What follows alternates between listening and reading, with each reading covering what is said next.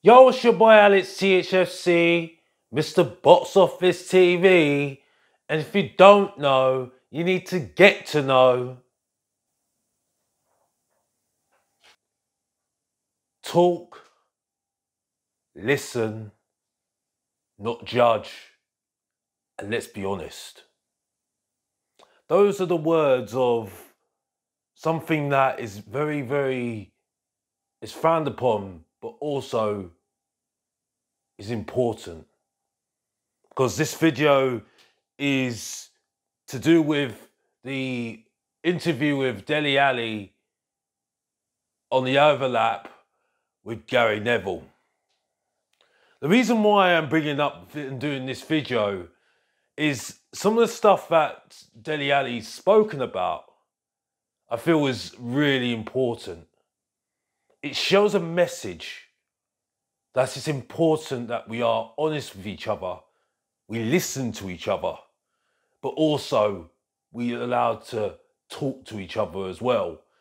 Because there's always important to talk.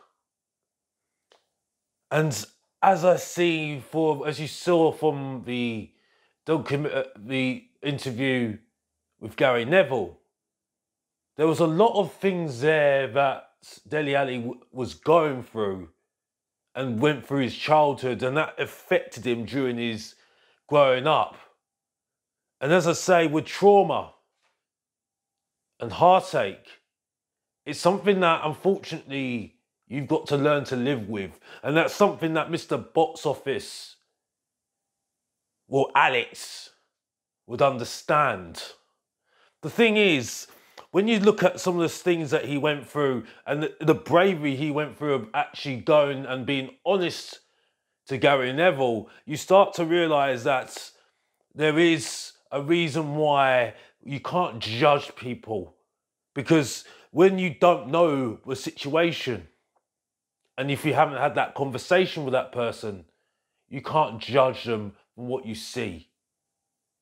You might see smile, but behind that smile, there is always a story. And that's why it's important to listen as well. Because when you go through some of the points that he went through in that interview, it's quite interesting when you hear some of the stuff he says. He says most of, he says that he was taking sleeping pills to try and forget the past. Even though those sleeping pills were there to try and help him get through adrenaline and what the doctor recommended. He ended up doing it and getting getting affected by it. He also goes on about the dependency on those sleeping pills because he wanted to carry on, forget, but also just show to the world that he's a strong boy. He talks about his past. He talks about when he was a child,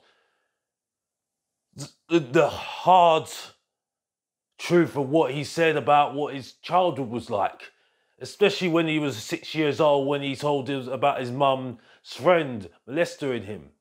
We also hear about when he went through with the drugs, also when he got disciplined in Africa. We also heard about when he was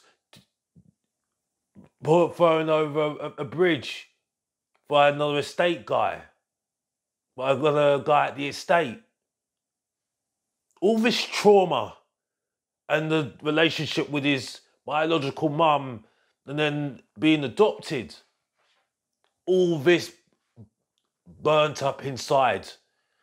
And this is why it's important that we all listen to each other, but also we let people express and talk to each other, but don't judge and let them be honest. Because that's the whole point of being a human. Unfortunately, the feelings of um, what you see in the past and what you've you've gone through before, it always affects, and that's why mental health is not very good at the moment in the community at the moment. And that's why it's always important to listen and not judge. And that's it. Some of the stuff that he mentioned about throughout his career, he had the manager of Pochettino who he brought, got got a good relationship with, who he was able to express himself and also build up a good relationship with. He was always holding it back because he didn't want to be judged by the public. He was already judged already by the media. But he felt that he didn't have that person that he could actually express himself, and that was it. So, looking back on what he just said, he said that he went to America after the Turkey run and he, he got injured. He went to rehab and then he realized that was him being able to deal and not well learn how to deal with the trauma that he went through and understand the trauma that he went through when he was younger and throughout his throughout his life the thing that's important and great to see is that this could have a, a, a turning point for Dele Ali. For now, he's now from the man that wasn't enjoying his football is now back wanting to fight back and want to love love his football, um, love playing football again. Unfortunately, for others that are not stories that are not told, unfortunately, doesn't have a happy ending. Unfortunately, as you see, there's are there are people out there that unfortunately, because they weren't able to speak and because they keep their demons inside you never see them again. And you know what I'm saying. I'm trying to keep it PG, but I said I was going to be honest on this. I, I, I should have warned that this was going to be an honest video.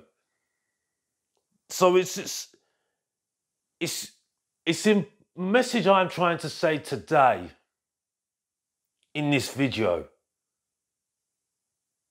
is that it's important to be honest to talk, to listen, and to not judge.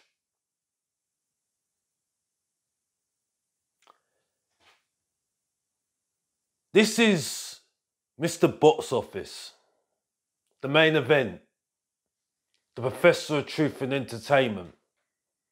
And this is Mr. Box Office being honest and talking truth.